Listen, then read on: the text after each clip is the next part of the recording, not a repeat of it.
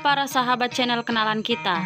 Sebelum kita lanjut, jangan lupa like, komen, subscribe, dan aktifkan tombol navigasinya. Terima kasih. Tangisan Indra Bekti, sudah mantap cerai, supaya tidak stres. Artis Indra Bekti dan pasangannya Aldila Jelita memutuskan bercerai. Indra Bekti pun angkat suara setelah digugat cerai istrinya.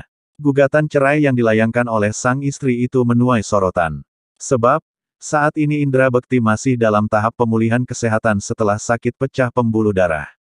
Dikutip dari suara Metro, Indra Bekti mengaku sudah mantap bercerai dan menerima keputusan sang istri.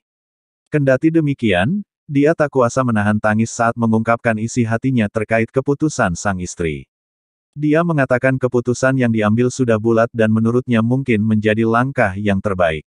Mungkin ini jalan yang terbaik untuk kesehatan aku juga, supaya tidak terlalu stres, ungkap Bekti dikutip Selasa tanggal 28 Februari tahun 2023. Bekti dalam sebuah potongan video yang diunggah dalam program Ceriwis ini tampak menyeka air mata yang menetes dari matanya. Dia lalu menjelaskan terkait kronologi permintaan cerai tersebut.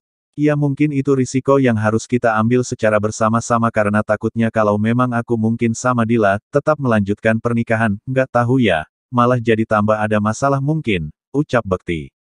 Keputusan itu langsung, yang kayak, ya udah yuk gitu, maksudnya pisah yuk gitu, lanjutnya.